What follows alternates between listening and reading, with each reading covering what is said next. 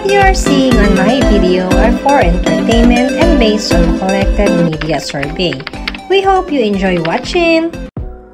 Pag-amin na ginawa ni Alden at Maine, ipinapaalala ko ano ang katotohanan sa kanila.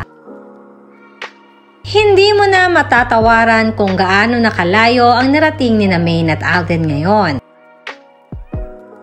Kung talagang iisipin mo ay mapapahanga ka kung gaano kalaki ang itinakbo ng mga careers nila kahit na pilit silang sinisira at pilit silang pinaghihiwalay. Ayon kasi sa nakalap ng aming source, matagal na umanong umamin sina Maine Mendoza at Alden Richards kung ano talaga ang totoong estado ng relationship nila ni Mengay. Pag-amin pa nga ni Mengay at Alden na talagang sila ni Maine ay in a relationship na. Hindi lang umano inilalabas ito ng GMA Network noon dahil na din sa lakas ng tambalan ni Maine at Alden ay nais nila itong patagalin upang pagkakitaan pa sina Mr. and Mrs. Prockerson noon.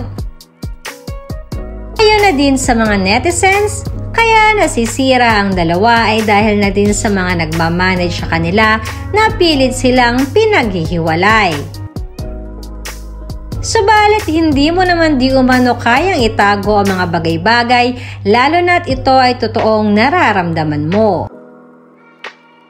Ganyan di umano kasi ang nararamdaman ngayon ni na Alden at Maine na kahit pilit silang hindi pagtagpuin ay halatang halata naman sa kanila sa mga kilos at kung gaano nila kamahalang isa't isa.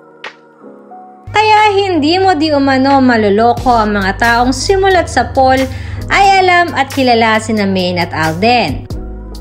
Dahil magpahanggang ngayon, kitang-kita naman di umano kung gaano kasaya ang dalawa pag sila ang magkasama. And that's the latest update. If you're new to my channel, kindly like, share, please consider subscribing na din para updated kayo sa mga bagong showbiz chika. Thank you guys for watching!